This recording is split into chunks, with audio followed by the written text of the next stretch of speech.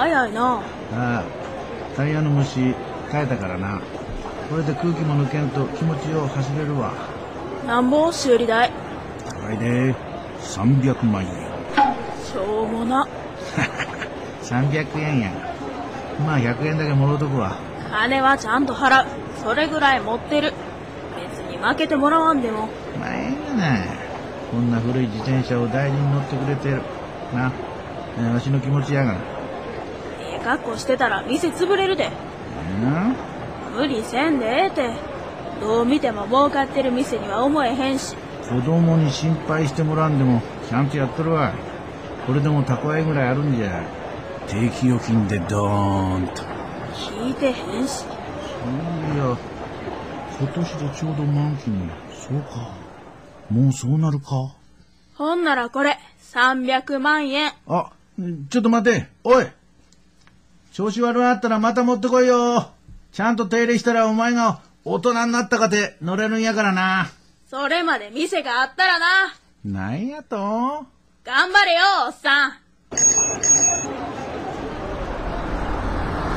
か。今日で15年目か。こうやって毎日変わらんことの繰り返しや。自転車の車輪みたいにくるっと回って元の位置。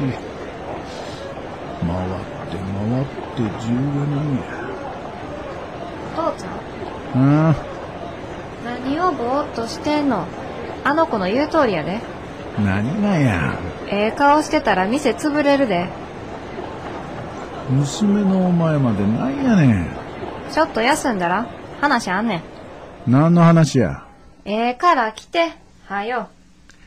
今度はなんやねん。かなわんなあ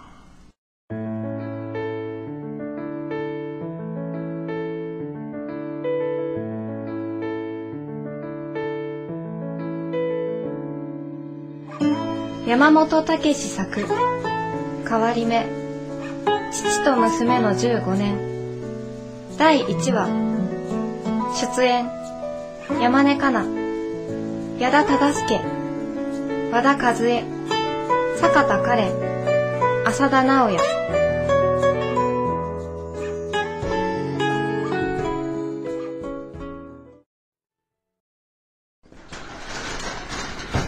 っからしゃった。うん、サープ。ハルビー、これストーブの灯油、まだあんのか？昨日こうといたちょっとそこどいてご湯ああはいお父ちゃんコーヒー砂糖も入れといて。やめとき今日は美味しいケーキあるからケーキ？ほら。昨日三宮で買うてきてん。ジュゲム堂の極楽タルトや。なんやそら。有名な店なんや。おっと、またいらんとこになりよった。なんでやろな。ならんようにしてるのに。よっ。ベルだけ壊れとるんや。まあ、古いからしゃあないな。けどよう長持ちしてくれるわ。お前が小学生の頃に買うたからな。確か。三年生。9歳の時から使ってるやん。せやな。もう15年。お前も24になるか。ケーキ食べたら？え？ああ。なんやの、もじもじして。そやかてお前。なんや、おかしな具合やで。何が？ないこっちゃで。お前と差し向かいでケーキ食べるって。うちかて土曜の昼間から、家でこんなことするとは思わんかったわ。え？何話しかけてもろくに返事せん。空気の抜けたタイヤみたいな相手とケーキ食べても別に美味しいわけないしな。父親捕まえて空気抜けたタイヤはないやろ。父親やったら、最近どうやとか、なんか変わったことないかとか聞くやろうに。娘のこと気にならんか？そらん、わしかて。どうやねん、はるみ。最近。ええわ、そんなん。怒らいでも。怒ってんと違う。気が重いんや。ああで、話があるって、なんや、何の話や？どこ具合悪いんか？病院には行ってきた。え？なんや？どこが悪いんや？どこも悪ない。どこも悪ないのになんで？話というのはそれや。え？実はな、お父ちゃん。うち、できてしもてん。できたって、イボとかデンボとか？赤ちゃんや。はせやからできてん。妊娠してん。あどういうこっちゃ？2ヶ月やて。予定日は8月の末頃。まだ暑い盛りやな。いや、ちょ、ちょっと待てよ。ほいでお前、どうする気や？ちゃんと産んで育てる。誰やねん、相手は。秘密や。何？けどちゃんとした人やで。お父ちゃんみたいにご飯粒こぼさへんし、人前でおならもせえへん。アホいえ。わしはご飯粒はこぼしても、結婚もせえへんのに、子供作るようなことはせえへんぞ。とにかく今は言いたない。聞かんといて。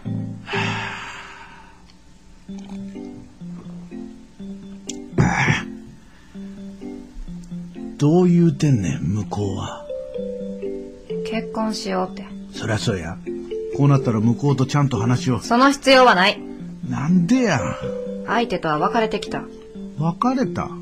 結婚はせえへんし、相手とももう会わへん。ほな、子供はどうすんねん?産むって言うてるやん。ほな結婚するわけやな。せえへんって。ほな子供はどうすんねん?子供は産むけど結婚はせえへんの。お前もわからんやっちゃわな。からんのはお父ちゃんやろつまり何か?結婚はせえへんけど子供は産むと。さっきからそう言うてるやん。どういうこっちゃ?ん一人で産んで育てる。未婚の母、シングルマザーや。誰が？うちがや。お前が、お前がその、えーシングルの未婚のマザーの母の？分かってくれた？ちょっと待て。考えて決めたことやから。アホか。何言うとんねん。どこの世界にわざわざ襟好んで、シングルの母になろうっちゅうやつがおんねん。そんなん今時珍しいことやない。どこにでもあることや。それはそれぞれ事情があってのことや。うちにはうちの事情がある。相手の男が気に入らんのか？好きでもない男の子供なんか？言っとくけど、うちはそんなアホな女やないで。だいたいお前、結婚する気もないのに、なんで子供ができるような、そういう時にはほれ、気をつけるっちゅうかその、娘のそんなこと聞きたいんか？とにかくお前、生まれてくる子供のことを、この先ずっと、一人親で育てることになんねんぞ。そんなん分かってる。分からんはずないやろ。分かってんならなんで、お前、今日が何日か知ってんのか ?1 月16日やぞ。忘れるわけない。お母ちゃんが死んで明日で15年やもん。もし15年前の今日、お母ちゃんが一人で出ていかんかったら、ああもうええ、もうええ。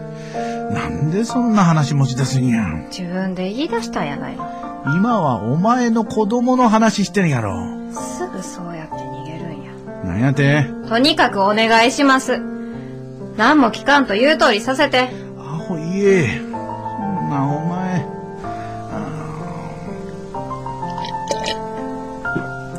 ああ、苦い。コーヒー苦いがな、これ。生まれてくる子は母親の私がしっかりしてたら大丈夫や。うちなんか見てみ。こんなだらしない親でも、ちゃんと大人になったやないの。だらしないよやって。誰のことやん？目の前におるやん。あのな。お父ちゃんが納得してもせんでも、うちはもう決めたんや。どうしてもあかん言うなら、この家出ていくしかない。なんでそうなんねん？わからんやっちゃな、もごめんください。長山さ。んお客さんか？長山さん、すいません。あの声。え？なんや？ええからうちが出る。長山さん、いてはりますか？すいません。はいはああ、はるみちゃん。よかった。おったんや。い。もうなんでやの。ただしさん、一体どういうつもり？話はもうついてるはずやで。納得できるわけないやろ。なんで別れなあかんのや。はるみちゃんのお腹には僕の、やめてこんなとこで。家まで押しかけてくることないやろ。ちゃんと話し合いたいんや。お父さんも交えて前向きに、お父ちゃんには言うてへん。相手が正さんやって。はるみちゃんがよう言わんのやったら、僕が自分でちゃんと打ち明ける。よう言わんのやのうって言うつもりがないの。けど、これは僕の責任や。なんと言われようと、うちの気持ちは変わりませんから。店先で何をごちゃごちゃと。お客さんかいな。ああ、これはどうも。おと、いや、長山さん、ご無沙汰しております。ああんた、新田先生。そうでしたろ？新田先生、小学校の。はあ、そうです。いやー、お久しぶりで。春美が小学生の時はえらいお世話になりました。卒業してからもちょくちょく手紙いただいて、娘も励みになったようです。ほんまありがたいことで。いや、そんな、あ今日は、また何の用で？あ、はあ、それがその、ええねん。もう用は済んだから。なあ、先生。お忙しいんやから、次行かんと、次。次、どこへ？ええから。いやー、まあせっかくやからゆっくりしてもらいたいんやけど、うちもちょうど間の悪いことで。なんかお取り込み中ですか？あー、まあ。そうですか。そしたらまた改めて。そうですかもう帰りはりますか？すいませんね、先生。お愛想なしで。はあ、失礼します。あちょっと待って。え？いや、ちょうどええわ。よかったら先生、ちょっと相談に乗ってもらえまへんか。は娘がえらいこと言い出しよりましてな。父ちゃん。まあ、とにかく奥へ。はるみ、ほれ、はよお連れして。あ、まあ、お父さんもああ言うてはるし。いらんこと言うたら今後一切顔も合わさへんし話もせえへんからそのつもりで。はるみちゃん。気ぃつけてや。な、先生。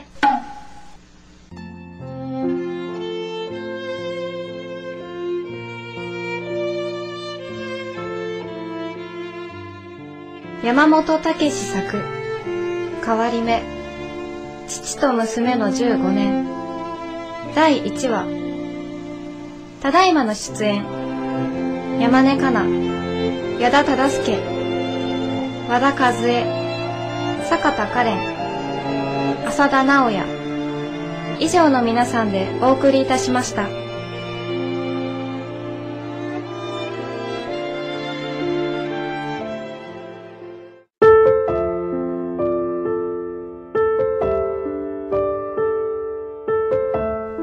今日の朗読24の瞳坪井栄。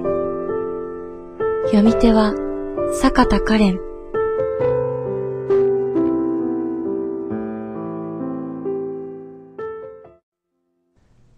24の瞳、坪井栄。10年を一昔というならば、この物語の発端は今から二昔半も前のことになる。世の中の出来事はといえば、選挙の規則が改まって、普通選挙法というのが生まれ、2月にその第1回の選挙が行われた2ヶ月後のことになる。昭和3年4月4日、農産漁村の名が全部当てはまるような瀬戸内海べりの一関村へ、若い女の先生が赴任してきた。家が100個余りしかない小さなその村は、細長い岬の先端にありました。交通が不便なので、小学校の生徒は4年生までが村の文教場へ、5年生になって5キロ先の本村の小学校へ通います。今日新しく赴任してくる先生の名前は、大石久子。でも、岬の村では、女子先生と呼ばれることになります。文教上の先生はいつも二人で、もう一人は年寄りの男の先生だったからです。大石先生は、湖のような入り江の大きな一本松のある村の生まれです。一本松は、文教上のある岬の村からは、盆栽の木のように小さく見えました。家から学校まではあまりに遠いので、最初は下宿を勧められましたが、大石先生は母親との暮らしを優先させ、片道8キロの距離を自転車で通う決心をしたのです。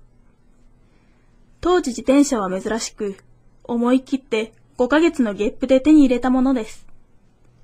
洋服も自転車に乗りやすいようにと、母親のセルの着物を黒く染め、自分で縫ったものでした。しかし、そうとは知らない武蔵の村の人たちは、大石先生のことを最初はおてんばで這いからぶった、寄りつきがたい女と思っていたのでした。修行の知らせが鳴りました。一年生は初めて親の手を離れ、一人で登校した気負いと不安とを隠せない様子です。この子たちを二年生と一緒に大石先生が受け持つのです。大石先生は出席を取り始めました。さあ、みんな、自分の名前を呼ばれたら大きな声で返事するんですよ。岡田磯吉くん。背の順に並んだので、一番前の席にいたチビの岡田磯吉は、真っ先に自分が呼ばれたのも気遅れの下元であったが、生まれて初めて、くんと言われたことでもびっくりして、返事が喉につかえてしまった。岡田磯吉くん、いないんですか？見回すと、一番後ろの席の図抜けて大きな男の子が、びっくりするほど大声で答えた。いるじゃあ、はいって返事するのよ、岡田磯吉くん。返事をした子の顔を見ながら、その子の席へ近づいていくと、二年生がどっと笑い出した。本物の岡田磯吉は困って突っ立っている。孫気よ、返事せえ兄弟らしく、よく似た顔をした二年生の女の子が、磯吉に向かって小声でけしかけている。みんな、孫気って言うの？先生に聞かれて、みんなは一様にうなずいた。そう。そんなら、磯吉の孫気さん。また、どっと笑う中で、先生も一緒に笑い出しながら鉛筆を動かし、その呼び名をも出席簿に小さく付け込んだ。次に、竹下竹一くん。はい。利口そうな男の子である。そうそう、はっきりと、よくお返事できたわ。その次は、徳田吉次くん。徳田吉次が息を吸い込んで、ちょっと間を置いたところを、さっき、岡田磯吉の時に、いる、と言った子が、少しいい気になった顔つきですかさず、キッチンと叫んだ。みんながまた笑い出したことで、相沢にいたというその子はますますいい気になり、次に呼んだ森岡正の時も、タンコと怒鳴った。そして自分の番になると、一層大声で、はーい先生は笑顔の中で少したしなめるように、相沢二太くんは少しおせっかいね。声も大きすぎるわ。今度は呼ばれた人がちゃんと返事してね。川本松江さん。はい。あんたのこと、みんなはどう言うの？まっちゃん。そう。あんたのお父さん、大工さん？松江はこっくりした。西口美佐子さん。はい。美佐ちゃんって言うんでしょ？彼女もまたかぶりを振り、小さな声で、みーさん言うん。あら、みーさん言うの？かわいらしいのね。次は、香川ますのさん。へい思わず吹き出しそうになるのをこらえ、先生は押されたような声で、へいは少しおかしいわ。はいって言いましょうね、ますのさん。すると、おせっかいのニタがまた口を入れた。まあちゃんじゃ。先生はもうそれを無視して、次々と名前を呼んだ。木下富士子さん。はい。山石さなえさん。はい。返事のたびにその子の顔に微笑を送りながら、壁子鶴さん。最後の片桐琴恵の出席を取った時には、もう45分の授業は終了してしまいました。今日初めて教壇に立った大石先生の心に、今日初めて集団生活につながった12人の1年生の瞳は、それぞれの個性に輝いて、ことさら印象深く映りました。そして、この瞳をどうして濁してよいものか、と思うのでした。2学期の最初の日、嵐で岬の村が大きな被害を受けました。鳩場の入り口では漁船が転覆。道路の上には何艘かの船が打ち上げられ、砂利で自転車も通れないほど荒れていました。学校について子供たちから被害の様子を聞いた大石先生は、生徒たちを連れて被災した家にお見舞いに行き、そこで子供たちと道路の砂利掃除を始めました。先生を手伝いながら、マスノがニタの家の壁が落ちて大変だったことを話し出しました。ニタんどこよ、先生。壁が落ちて、押し入れの中ずぶ濡れになってしもたん。見に行ったら、中が丸見えちゃった。ばあやんが押し入れの中でこないして天井を見よった。